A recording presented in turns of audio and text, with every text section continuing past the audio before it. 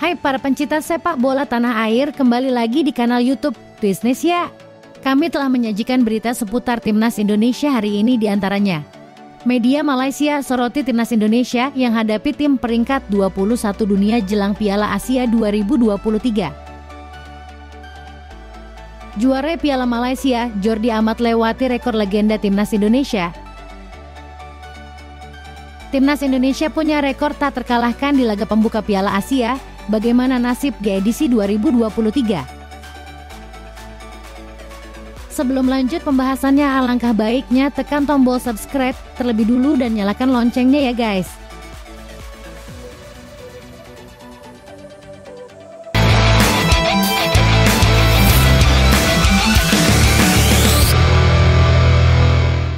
Media Malaysia soroti timnas Indonesia yang hadapi tim peringkat 21 dunia jelang Piala Asia 2023. Ya, emang benar timnas Indonesia akan melakukan uji coba dengan Iran yang berada di peringkat 21 dunia.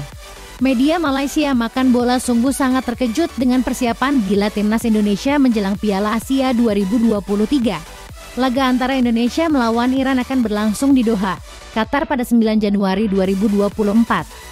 Laga tersebut akan digunakan Shin Tae-yong untuk mengetahui kekurangan dan kelebihan pasukan Garuda. Sebelum menghadapi Iran, Indonesia akan menjajah Libya yang menempati peringkat 120 dunia. Nantinya, Indonesia akan bertemu dengan tim asal benua Afrika itu pada 2 dan 5 Januari 2024 di Turki. Timnas Indonesia pun diharapkan bisa mendapatkan hasil bagus dan persiapan selama TC bisa berjalan dengan baik. Pasalnya, Elkan Bagot dan kawan-kawan akan menghadapi Jepang, Irak dan Vietnam di grup D Piala Asia 2023.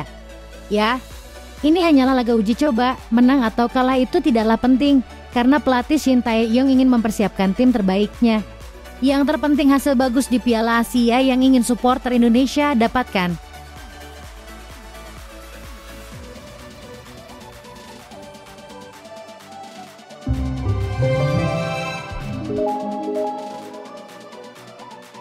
Juara Piala Malaysia, Jordi Amat lewati rekor legenda timnas Indonesia. Jordi Amat sukses mengantar Johor Darul takzim juara Piala Malaysia 2023. Ia pun kini melewati rekor legenda timnas Indonesia. Sebelumnya, Jordi Amat didapuk sebagai kapten saat JDT mengalahkan Terengganu dengan skor 3-1 di final Piala Malaysia 2023. Jalanannya pertandingan final Piala Malaysia 2023 begitu sengit, sampai akhirnya beberapa gol tercipta dari kedua tim. JDT membuka skor terlebih dahulu setelah di menit ke-6 Bregson berhasil mencetak gol melalui titik putih. Kemudian Terengganu menyamakan kedudukan, menit ke-21 Ivan Mamut juga mencetak gol lewat penalti. Lalu berlanjut ke babak kedua, Jordi Amat dan kawan-kawan menggandakan skor melalui sepakan feroz di menit ke-73 satu dan mengunci kemenangan 3-1 usai Arif Aiman berhasil mengeksekusi tendangan penalti. JDT juara Piala Malaysia edisi 2023 dan Jordi Amat mendapatkan trofi tersebut kedua kalinya. Torehan ini membuat dia melangkahi prestasi Bambang Pamungkas sebagai legenda timnas Indonesia yang juga semasa berkarir di sepak bola Malaysia pernah juara Piala Malaysia. Namun, Bambang Pamungkas hanya mampu merengkuh satu trofi juara Piala Malaysia saja, tepatnya di 2005. Sementara Jordi Amat sudah dua kali menyabet gelar bergengsi Piala Malaysia, yakni di 2022 dan 2023.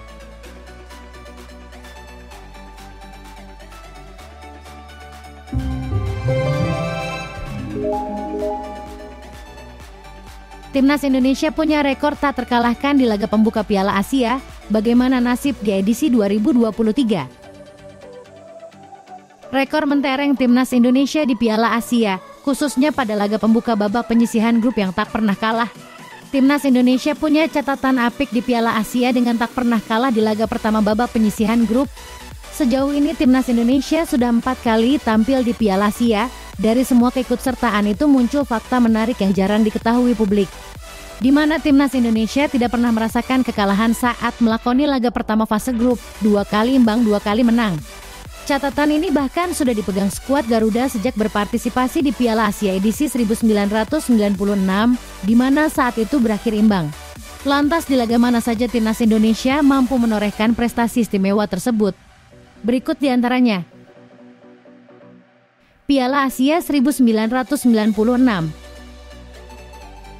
Berhadapan dengan Kuwait, timnas Indonesia mampu menahan imbang dengan skor akhir yang cukup ketat yakni 2-2.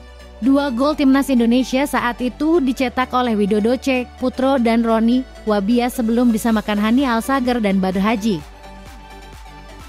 Piala Asia 2000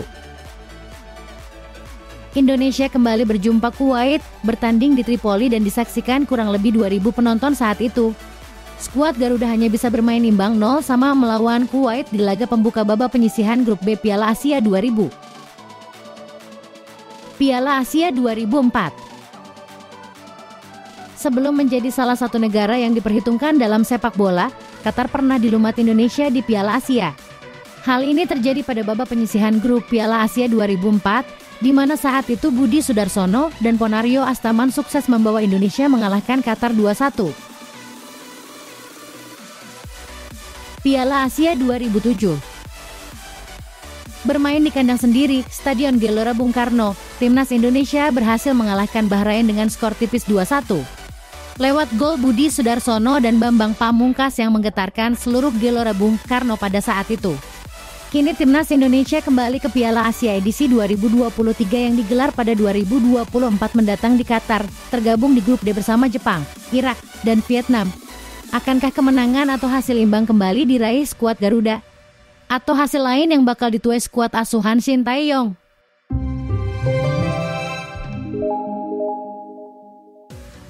Ragnar Oratmangoen antusias JIJS akan bela timnas Indonesia. Ragnar Oratmangon sendiri juga mengaku mendapatkan kabar bakal bergabung ke timnas Indonesia berkat Jay Idzas. Ragnar pun langsung berbicara dengan salah satu utusan yang mengurus proses naturalisasi menjadi warga negara Indonesia. Ragnar Oratmangon pun mengaku sangat antusias dengan kans membela timnas Indonesia. Dirinya terkesan dengan antusiasme penggemar sepak bola tanah air kepada timnas Indonesia.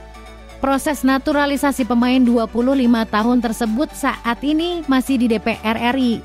Untuk menjalani sumpah sebagai WNI, Ragnar Oratmangoen harus mendapatkan persetujuan dari DPR RI dan Presiden Republik Indonesia terlebih dahulu.